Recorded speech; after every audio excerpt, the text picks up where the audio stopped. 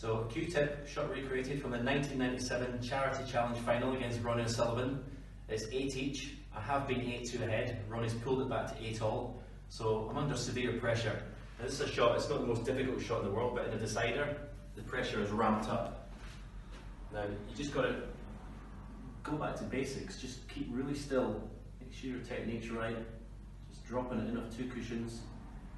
So you pot the red, pot the red, actually went on to play the first 147 that's ever been made in a decider of a match and went on to win the Charity Challenge 9-8.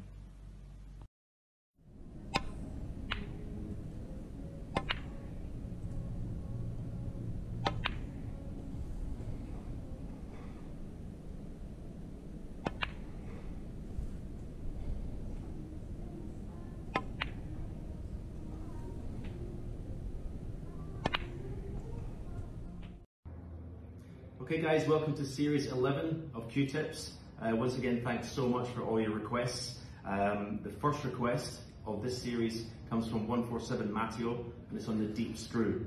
We've got an example here. We'll finish straight on the green. We've got four reds, choice of four reds really. We're going to screw back hopefully the cue ball in a straight line.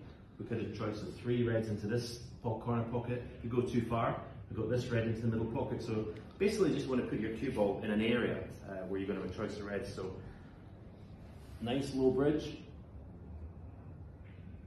Low in the cue ball obviously for the screw. Few waggles, nice loose grip. Slow back, pause. And cue ball back in a straight line.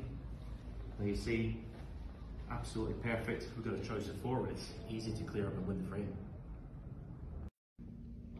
cue tip request from Gravy304, who's asked for one of my favourite shots from the Champion of Champions. Um, that's why I'm here filming. We're in the, the Marshall Arena in the bubble, um, filming these cue tips.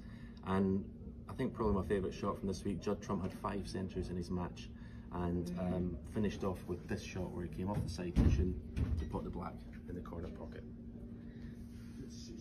Very cool shot.